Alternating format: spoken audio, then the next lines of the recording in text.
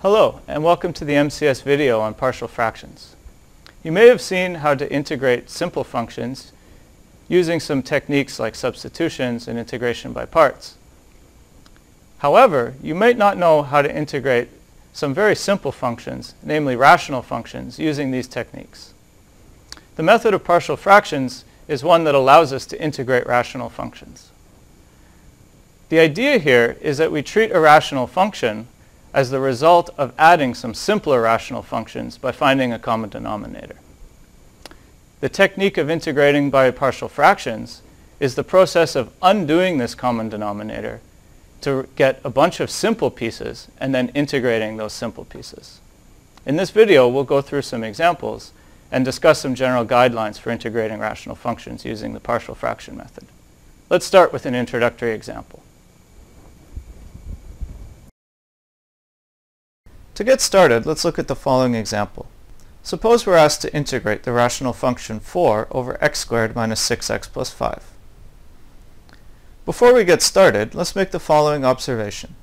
Suppose we're asked to subtract two rational functions, like 1 over x minus 5 minus 1 over x minus 1. The first step is to find a common denominator. In this example, we get x minus 1 over x minus 5 times x minus 1, minus x minus 5 over x minus 1 times x minus 5. We can simplify, and we get 4 over x squared minus 6x plus 5. That was the original rational function we were interested in. So notice that we can write the rational function 4 over x squared minus 6x plus 5 as the difference of two simpler rational functions. This means that when we want to integrate 4 over x squared minus 6x plus 5, we can write it as a difference of two simpler integrals. We can write it as the integral of 1 over x minus 5 minus the integral of 1 over x minus 1. Each of these is simpler to integrate, and they give us log x minus 5 absolute value minus log x minus 1 in absolute value plus a constant. Having seen this introductory example, we might ask whether the technique used was simply a coincidence or whether there's something more general in play. We'll now discuss some general guidelines that will allow us to integrate more complicated rational functions. We'll start by discussing the case where the degree in the top is smaller than the degree in the bottom. To get started, if we're given a rational function f of x equals p of x divided by q of x, exactly one of the following cases must hold. The first case is when the degree of p is smaller than the degree of q. The second case is when the degree of p is greater than or equal to the degree of q. To get started, let's discuss a guide for integrating the rational function p of x over q of x when the degree of p is smaller than the degree of q. If necessary, we should factor q of x into a product of linear and irreducible quadratic terms. In other words, we should factor the denominator as much as possible.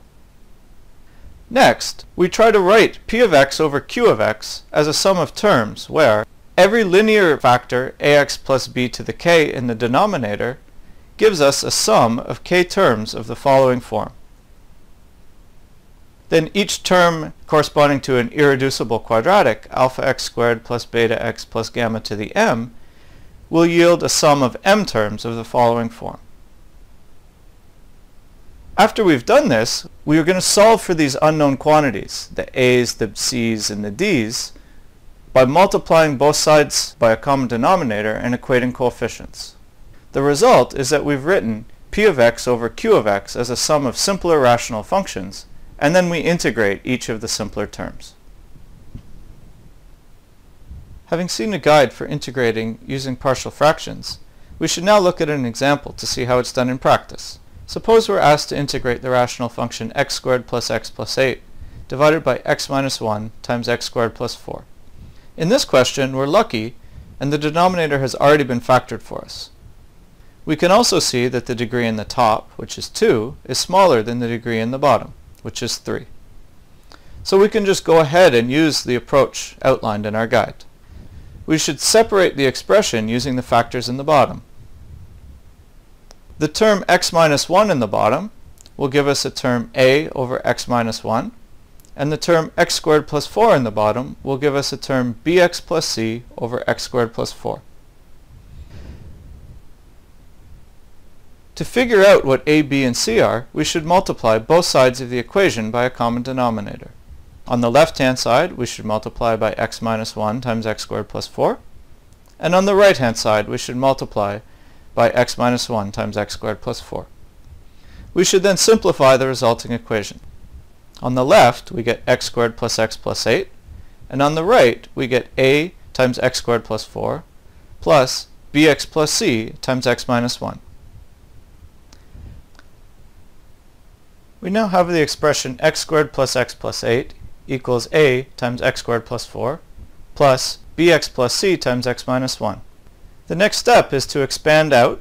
We get ax squared plus 4a plus bx squared minus bx plus cx minus c. We should then group together the quadratic terms, group together the linear terms, and group together the constant terms on the right. In order to find a, b, and c, we should compare the coefficients on the left with the coefficients on the right. Comparing quadratics gives 1 is equal to a plus b. Comparing linears gives 1 is equal to minus b plus c and comparing constants gives 8 is equal to 4a minus c. We now solve this system of equations using substitution or elimination to get that a has to be 2, b has to be minus 1, and c has to be 0. Now that we know that a is 2, b is minus 1, and c is equal to 0, we can rewrite x squared plus x plus 8 divided by x minus 1 times x squared plus 4 as 2 over x minus 1 minus x over x squared plus 4. So we can now integrate x squared plus x plus 8 over x minus 1 times x squared plus 4 by splitting it into the two integrals, the integral of 2 over x minus 1 minus the integral of x over x squared plus 4. The first integral is fairly straightforward, so we leave it alone. The second integral requires a substitution. We make the substitution u equals x squared plus 4, which means du is equal to 2x dx. And so we're left with 2 times the integral of 1 over x minus 1 dx, minus a half the integral of 1 over u du. Integrating the first term gives us 2 log absolute value of x minus 1, while integrating the second term gives us minus a half log absolute value of u plus c. Substituting u equals x squared plus 4 gives us 2 log absolute value of x minus 1 minus 1 half log of x squared plus 4 plus c. So we conclude that the integral of x squared plus x plus 8 divided by x minus 1 times x squared plus 4 is equal to 2 log absolute value of x minus 1 minus 1 half log x squared plus 4 plus c. We have now seen some examples and discussed some guidelines for integrating rational functions using partial fractions where the degree in the top is smaller than the degree in the bottom. One might ask, what do you do when the degree in the top is larger than the degree in the bottom? The answer is to use long division and combine it with the method that we've already seen. Let's take a look at some examples and see how this is done. Let's discuss a guide for integrating rational functions p over q when the degree of p is greater than or equal to the degree of q. We should do long division to write p as g times q plus r, where g is a polynomial, r is a polynomial, and the degree of r is smaller than the degree of q. This means we can rewrite our rational function p over q in a much simpler form. We substitute in the expression that we get from long division for p, and then simplify. We get that p over q is equal to g, a polynomial, plus the rational function r over q.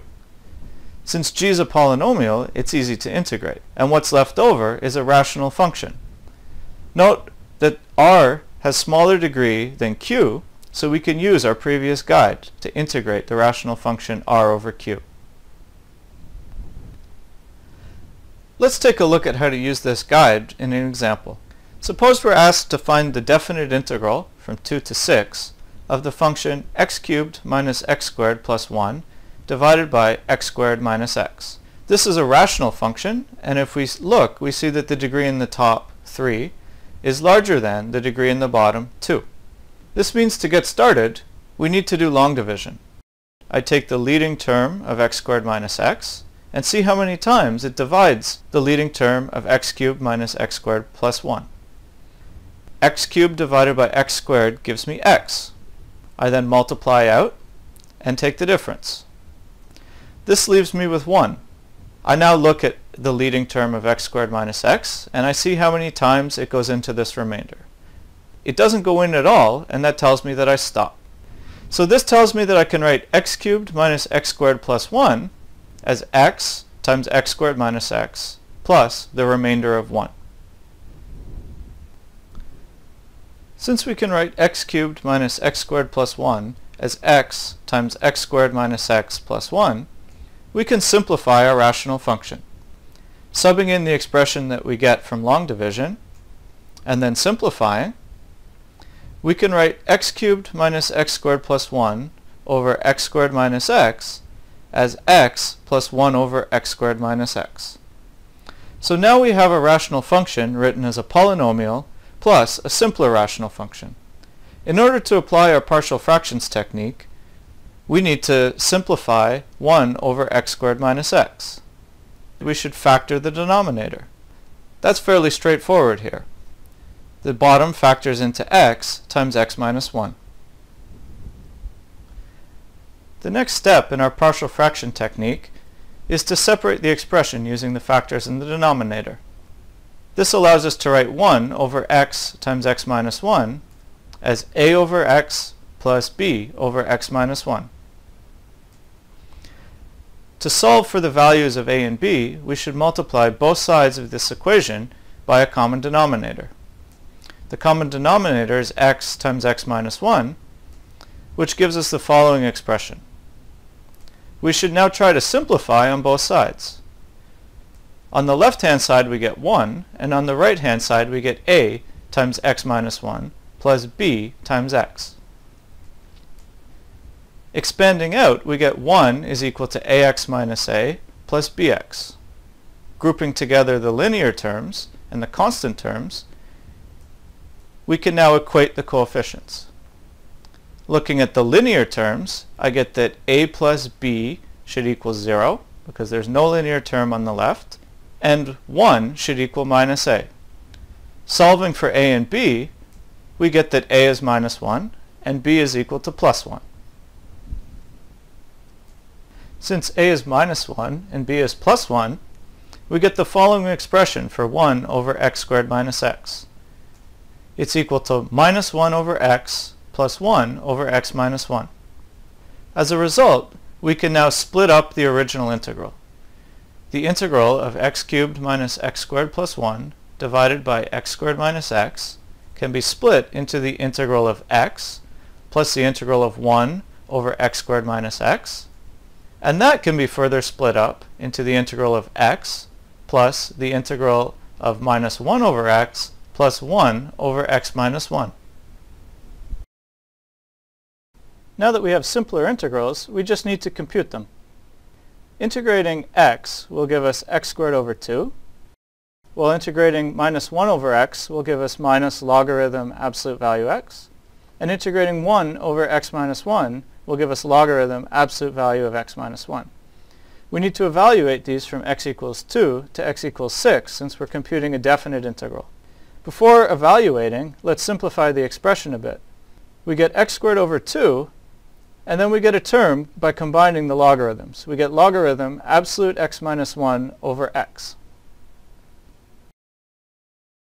Now we just need to evaluate the antiderivative at x equals 6 and x equals 2 we plug in x equals 6, and we subtract the value that we get by plugging in x equals 2. We simplify, and after simplifying, we see that the answer is 16 plus the logarithm of 5 over 3.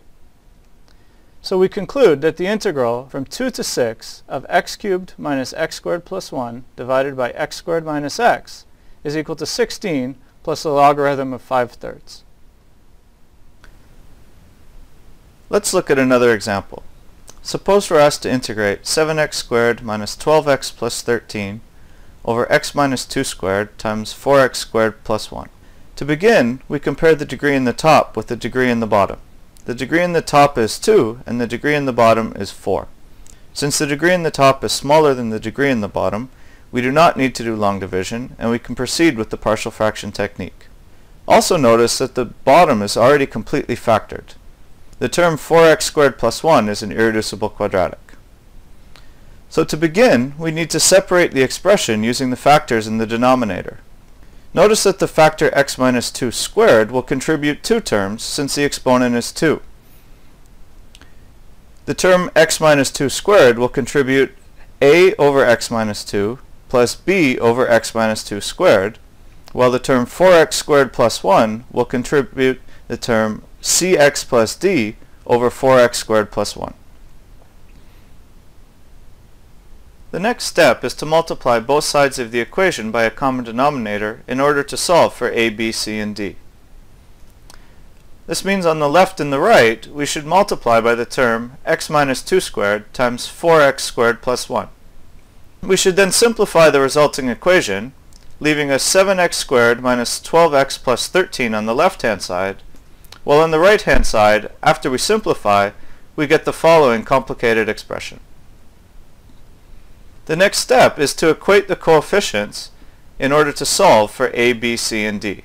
Comparing the terms with x cubed on the left and the right, we get the equation 0 is equal to 4a plus c, because there are no x cubes on the left, while the coefficient of x cubed on the right is 4a plus c. Next we move to the x squared terms. On the left-hand side we have 7, and on the right-hand side we have minus 8a plus 4b minus 4c plus d. We now compare the coefficient of x. On the left-hand side we have minus 12, and on the right-hand side we have a plus 4c plus 4d. Finally, we compare the constant terms. On the left-hand side we have 13, and on the right-hand side we have minus 2a plus b plus 4d. We now have a system of equations for a, b, c, and d which we can solve. Solving this system of equations gives us a equals 0, b equals 1, c equals 0, and d equals 3. As a result, we can write the rational function 7x squared minus 12x plus 13 divided by x minus 2 squared times 4x squared plus 1 as 1 over x minus 2 squared plus 3 over 4x squared plus 1. We're now ready to integrate. Our work has shown us that we should integrate 1 over x minus 2 squared plus 3 over 4x squared plus 1. The first step is to split it into two terms, the integral of 1 over x minus 2 squared plus 3 times the integral of 1 over 4x squared plus 1. We're going to focus on the second term. In order to integrate 1 over 4x squared plus 1, we have to make a substitution u equals 2x which results in du equals 2 dx. As a result, we're left with the integral of 1 over x minus 2 squared dx plus 3 halves the integral of 1 over u squared plus 1 du. Integrating the first term gives us minus 1 over x minus 2, while integrating 1 over u squared plus 1 gives us arctangent of u plus c. So we get minus 1 over x minus 2 plus 3 halves arctangent of u plus c. However, we have to substitute back in u equals 2x. As a result, we're able to conclude that the integral of 7x squared minus 12x plus 13 over x minus 2 squared times 4x squared plus 1 is equal to minus 1 over x minus 2 plus 3 halves arctangent of 2x plus c. To summarize, the method of partial fractions can be used to integrate rational functions. We have seen that terms with repeated factors can be tricky, and that irreducible quadratics require a little bit extra work. However, we hope that with some practice you will learn to master this technique. We've compiled a list of additional practice problems to help you get started. Good luck, and thanks for watching.